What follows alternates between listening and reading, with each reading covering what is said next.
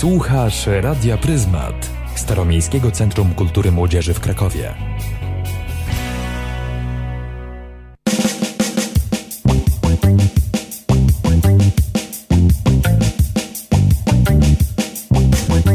Buch Travel. Mówiąc o genezie Krakostopu, musimy sięgnąć wstecz do roku 2012.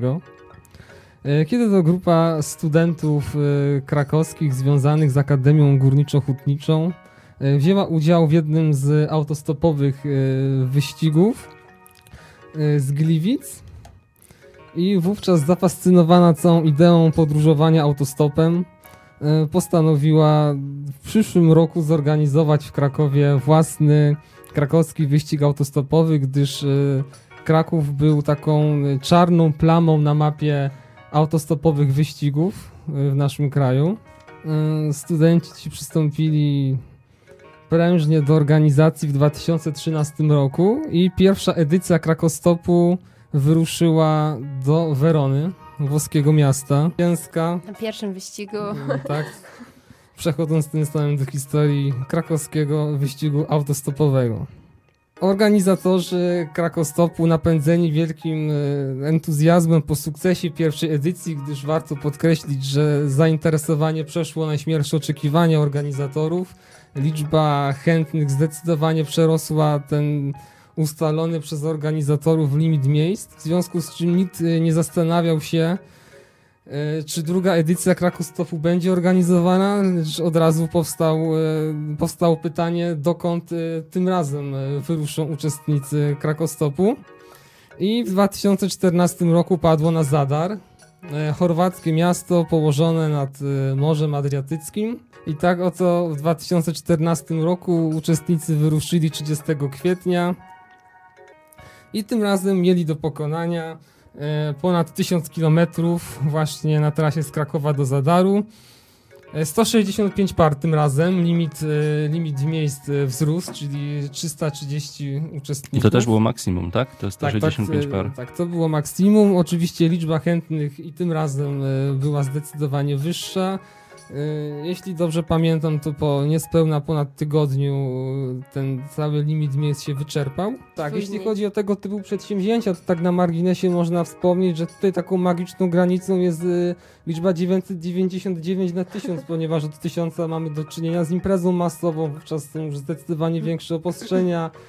Yy, tutaj trzeba też prosić o pomoc, o pomoc policji i tak dalej, także tu jest taka magiczna granica, natomiast jeśli chodzi o limit miejsc w Krakostopie, to jakby nigdy y, z niczym jakoś sztywnie się to nie wiązało, nie byliśmy niczym skrępowani po prostu biorąc pod uwagę wzrost, y, ewidentny wzrost zainteresowania Krakostopem, ta liczba miejsc jest stopniowo, stopniowo podnoszona i mamy nadzieję, że tak jak w poprzednich dwóch latach, y, również w tym roku ten limit miejsc y, się zapełni i, czter, i, i, że będzie to rzeczywiście 400 osób, 200 par.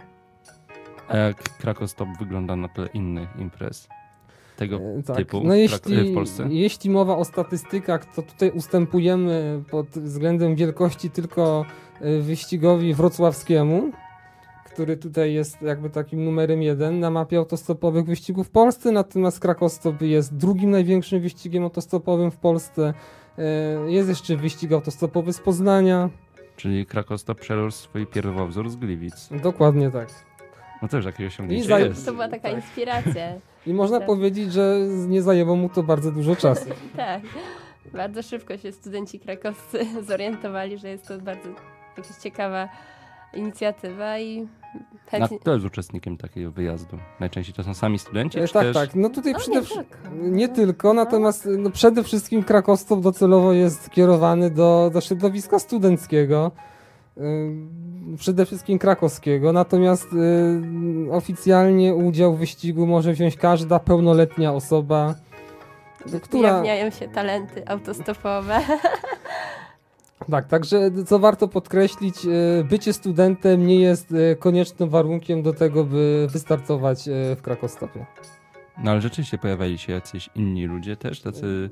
Tak, zdarzały się takie przypadki, że pojawiały się jeszcze osoby, znaczy osoby zarówno jeszcze w wieku powiedzmy maturalnym, czyli jeszcze jakby dopiero mające przed sobą życie studenckie, jak również osoby, które już studia miały za sobą, ale jakby były zapalone do tego pomysłu i również chciały wystartować. A to jak rozumiem, najwięcej chętnych jest z Krakowa, ponieważ no tak jakby mamy różne imprezy z całej Tak, Polski, tak, to Kraków jest tutaj przoduje, ale czy też pojawiają się osoby na tej imprezie z Tak, innych miast, innych Zdecydowanie województw? dominował Kraków, natomiast y, jeśli chodzi o rozkład, o rozkład y, pochodzenia uczestników y, Krakostopu 2014, tutaj warto podkreślić, że spośród tych 330 uczestników aż 134 to uczestnicy pochodzący z Małopolski, na drugim miejscu województwo śląskie 46 uczestników, a na miejscu trzecim e, województwo podkarpackie 37 osób. Natomiast co warto podkreślić, y, każde województwo miało przynajmniej jednego przedstawiciela w drugiej edycji Krakostopu. Także można powiedzieć, że Krakos... Cała Polska tak, brała cała, udział w Cała Cała Polska Polska, jeździ z Krakowa. dokładnie, tak, cała Polska ściga się z Krakostopem. A prowadzicie jakieś statystyki, czy osoby, które brały udział w drugiej edycji, brały też w pierwszej? Czy, E, Tak, tak. czy ym, powtarzają się, tak? Tak, tak, nie dysponuję tutaj dokładnymi liczbami, ale z tego co pamiętam, to e, kilkanaście, kilkanaście procent osób, które brały udział w pierwszej edycji, również brały udział, udział w drugiej edycji. No i teraz prawdopodobnie w trzeciej też wezmą. No jestem przekonany, że biorąc... Czyli im się to spodobać, to jest ciekawy sposób Jest spędzania. to bardzo ciekawy sposób spędzania majowego weekendu. To bardzo spontaniczny, który pozwala przede wszystkim przeżyć niezapomnianą przygodę. No jak również e, e, pozwala poznać e, i nowe miejsca, i nowe osoby, nawiązać nowe znajomości. Jak myślicie, myślicie, co jest przewagą takiego wyścigu yy, autostopowego ze zwykłym podróżowaniem autostopem? Znaczy ja też mogę wymyślić sobie nawet w tym samym okresie czasu, że jadę gdzieś, ale jednak te osoby się zbierają, yy, jadą w konkretne miejsce i biorą udział w jednym wydarzeniu. No jest to pewnego rodzaju taka adrenalina też, bo chęć podróżowania. E, No można podróżować no, na wszystkie możliwe sposoby. No, można autobusem, można samolotem, ale tu chodzi właśnie o ten, e, o podróżowanie na studencką kieszeń. Także żeby to było jak najbardziej możliwie się da tanio, ale żeby to było właśnie w grupie i żeby to było właśnie z ludźmi, którymi się lubi, z którymi się spędza czas normalnie na przykład na zajęciach i żeby można było później powspominać właśnie wspólnie spędzone chwile za niewielkie pieniądze i po prostu, żeby to jakoś na przyszłość miało jakieś mm, później odzwierciedlenie właśnie w takich wspomnieniach, w jakichś Tak, no też warto podkreślić, że jakby y, możliwość wzięcia udziału w Krakostopie jest y, tylko, czy jakby obowiązkiem wzięcia udziału w Krakostopie jest y, tylko i wyłącznie dla dwóch, y, dla dwóch osób, które startują w jednej parze, także y, nie można startować y, po, pojedynczo, tylko jest to wyścig dla dwuosobowych drużyn. I co ciekawe, jeszcze mamy taką na naszej stronie internetowej, będzie taka parozłączka, że jeżeli ktoś by był samotny i szukał O. swojej drugiej połówki krakostopowej, nie mówię tu o połówkach od razu mieszanych, aczkolwiek też się takie trafiają, ale jeżeli ktoś szuka towarzysza do podróży, to oczywiście może się e, odnaleźć właśnie na, takiej, na naszej parozłączce, gdzie każdy może się ogłosić i powiedzieć, że szuka kogoś, kto mu potowarzyszy. I to wszystko pojawi się w najbliższym czasie, kiedy ruszą y, zapisy na trzecią edycję Krakostopu. E, Tak, e, zapisy ruszają w nocy, o, o północy dokładnie z 22 na 23 marca. E, Warunkiem, warunkiem zarejestrowania się będzie wypełnienie formularzu zgłoszeniowego, który e, wszyscy znajdą na naszej stronie internetowej krakostop.pl.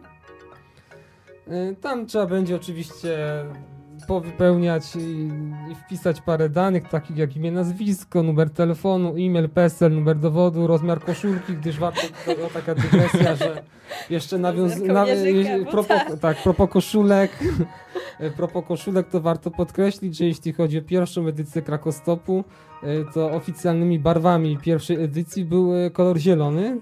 Wszyscy uczestnicy, którzy wyruszyli z Krakowa, z Krakowa do Werony, byli przywdziani w zielone koszulki z logo Krakostopu. Czyli to oni we własnym zakresie? Czy to nie, nie. To może stąd wynikał ten limit, że mieli tylko te 105, 210 koszulek? Nie, nie. Nie, nie zapewniam, nie. że dla organizatorów żadna liczba koszulek do zdobycia nie, nie, jest, nie jest straszna. Każdy, każdy uczestnik y, ma zagwarantowaną, zagwarantowaną koszulkę. I tak dla, dla odmiany w przypadku drugiej edycji kolorem krakostopu był niebieski i tym razem y, te 160 par było ubrane w koszulki w barwach niebieskich z tego krakostopu. Natomiast y, w tym roku ścigając się na Rivierę Francuską, wszyscy uczestnicy będą przywdziani w koszulki koloru żółtego. A propos samego autostopu, E, to warto powiedzieć coś o jego historii, ponieważ Autostop to nie są tylko e, te trzy edycje Krakostopu i innych edycji, e, innych autostopowych imprez w Polsce i na świecie, tylko to ma trochę głębszą i dłuższą historię. Oczywiście, no, w Polsce to zrodziła się ta idea takiego podróżowania autostopem. No już zrodziła się w 1957 roku, to był czasy PRL-u. I kiedy z inicjatywy studentów, właśnie przemierzających świat, no. Ci studenci zmieniają świat trochę. Ta, no to oczywiście, przecież to młodzi ludzie. wszystko, wszystko jeszcze przed nimi. Jeszcze się nie boją niczego, to próbują, kombinują. I oni właśnie tak postanowili spróbować. A złapiemy złapię może jakieś auto, bo to nie wiadomo, czy to, jak to jeszcze nazwać, czy to był ten autostop, czy to było po prostu chęć podwiezienia. Może tak nie mieli też pieniędzy zapewne, ale tak zaczęli jakoś tak podróżować właśnie w ten sposób i wysyłali listy do takiego czasopisma dookoła świata. I wysyłali listy tych podróży. No i w sumie tak z, y, to czasopismo zaczęło je publikować w swoich łamach i zaczęło się właśnie ta taka e, informacje o tym rozprzestrzeniać.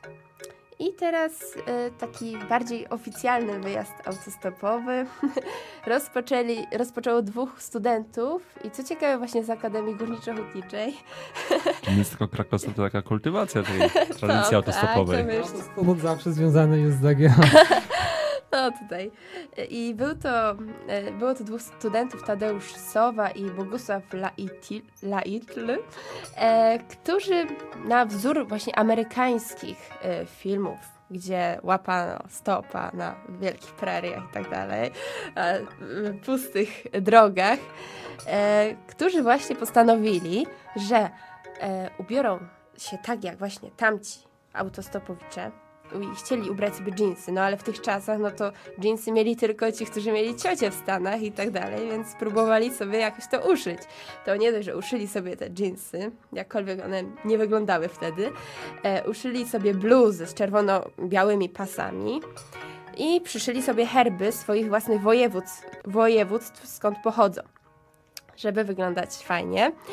E, a co ciekawe, zatrzymywali e, auta z takim wielkim szyldem, na którym właśnie było napisane, że ten kierowca fajny chłop, co popiera autostop.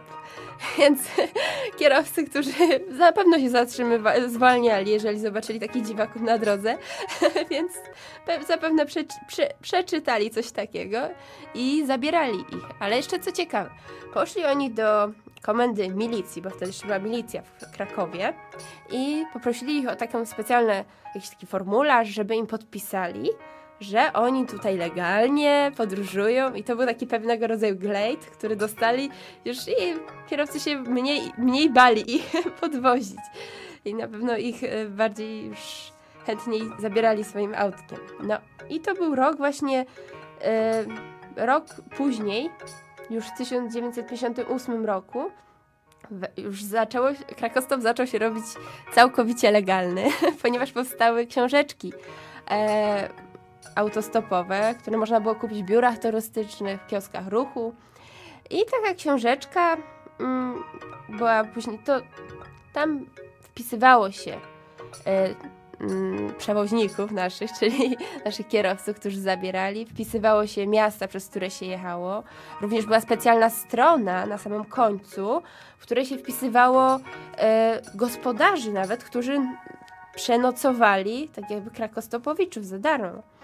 I taką książeczkę, no trzeba było tam uiścić pewną opłatę za nią, ale było to pewnego rodzaju takie ubezpieczenie. I to taka, człowiek tak się stawał pewniejszy, jak jechał z czymś takim. Mm.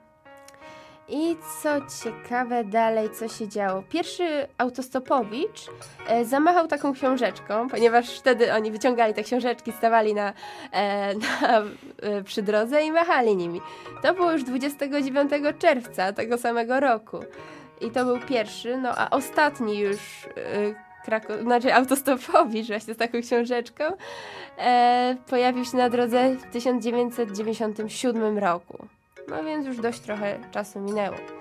I mm, dlaczego było wpisywa dlaczego wpisywano e, te różne osoby, dlaczego wpisywano kierowców i gospodarzy? No bo nie tylko na pamiątkę, ponieważ rozeszła się taka mm, znaczy wiadomość, że będzie nagroda za to, kto najlepiej przewiezie autostopowicza, to zapewni mu tak jakby najlepszy, najlepszy komfort jazdy i nagrodą był samochód podobno.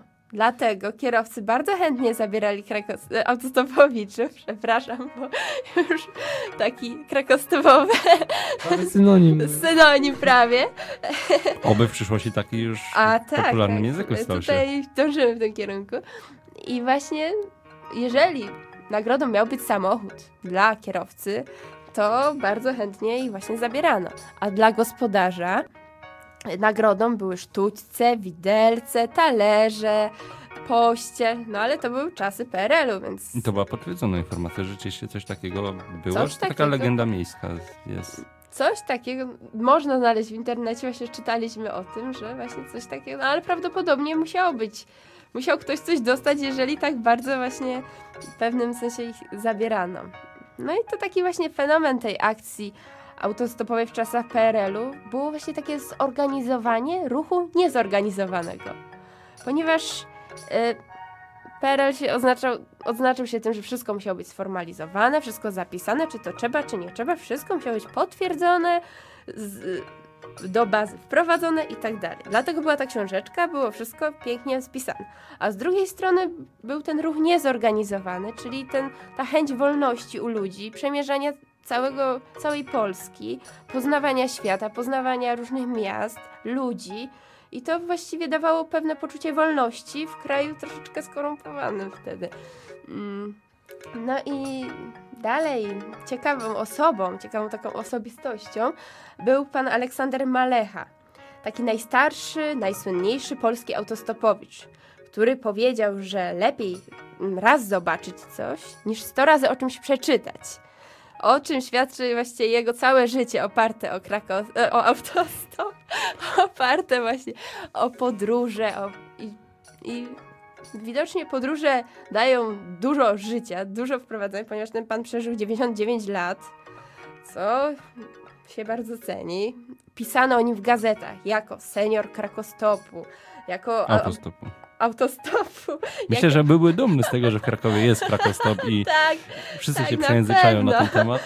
tak, również pisał, że pisano o nim, że autostop jest także dla se- seniorów, że jest weteranem turystycznych wędrówek, że jest turystą długowieczności nawet, no co już podkreśla jego wiek. On jeździł po całym świecie. Po całym świecie później, no na początku wiadomo, każdy po Polsce zaczyna jakoś w mniejszy lub większy sposób, ale po całym świecie się rozeszła jego właśnie e, droga. No i jak się teraz, y, ciekawostką jest taką, jak się ubierali jeszcze autostopowicze, bo to nie ma tak, że można było byle jak. Można było, oczywiście, tylko że tu się dzieli, były dwie takie grupy. Jedni dbali bardzo o wygląd, a jedni nie. I to, ci niechlujni tacy, tacy bylejacy, co się nie golili, a wchodzili w łachmanach różnych, tacy. To oni e, byli zabierani przez kierowców e, ciężarówek. A ci eleganccy, tacy bardziej schludni, byli właśnie zabierani przez e, samochody osobowe. I teraz jak wyglądał taki schludny autostopowicz? Bo, e, on ubierał się takie jasne ubranie, coś na kształt brytyjskiego munduru. Żeby to było takie ładne, taki e, hełm brytyjski miał na sobie. Nie wiem skąd oni brali te hełmy i tak dalej. Ale Bo- wychodzi na to, bezpieczeństwo jest najważniejsze I co ciekawe, i bambusowa laseczka. Bambusowa laseczka e, i plecak amerykański, w amerykańskim stylu. No to musiałoby dość ciekawie wyglądać na drodze. Często jeszcze właśnie poruszali się w kapeluszach, bo taki kapelusz wiadomo zwraca uwagę, jeżeli ktoś idzie środkiem środkiem, no środkiem, nie wolno było wychodzić na środek jezdni, ponieważ etos autostopowy tego zabraniał, żeby stawać na środku jezdni i zatrzymywać. Trzeba było stanąć z boku, ponieważ co tu jeszcze było takiego? E, mówiono, że żeby zatrzy zatrzymaj się na szosy z kraju według dobrego obyczaju.